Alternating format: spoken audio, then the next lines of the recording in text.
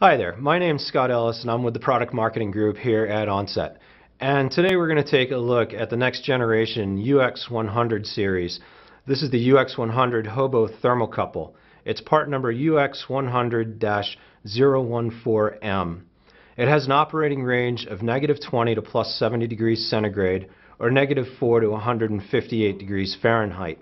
It accepts eight different types of thermocouples. This is selectable through HoboWare software, and you can select from a J, K, S, T, E, R, B, or N type thermocouple. The accuracy varies depending upon which thermocouple type you have plugged in, with the best accuracy being plus or minus 0.6 degrees centigrade and can range to plus or minus 2.5 degrees centigrade. This has a larger memory where it can store 208,000 measurements. One of the key features for this is the LCD. As you can see, it gives you real-time feedback where the LCD is refreshed every 15 seconds.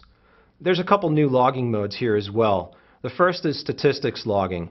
It allows you to record the minimum, maximum, average, or standard deviation reading over your logging interval. The other interval is something what we call burst and if it goes above or below a particular threshold, the logger will go into a faster recording mode. With the left push button here, you can scroll through the different measurements that it's recorded. So you can see the maximum, minimum, average, standard deviation reading over your recording interval. As for the left push button, it allows you to start, stop, and restart your logger. This logger also features the Wrap When Full feature, so when your memory is filled up, you have the option to begin writing over your oldest data.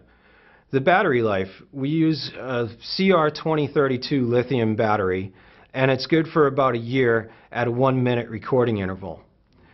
We've redesigned the case so you have two mounting tabs on either side so you can attach this to something with zip ties. On the back, we have four rare earth magnets, so you can stick this to anything magnetic. And on the bottom, as you can see, you just plug your thermocouple right in. So hopefully this gives you a better understanding of the UX100 thermocouple logger, again part number UX100-014M. For more information, please see our website at www.onsetcomp.com or call one of our application specialists at 1-800-LOGGERS.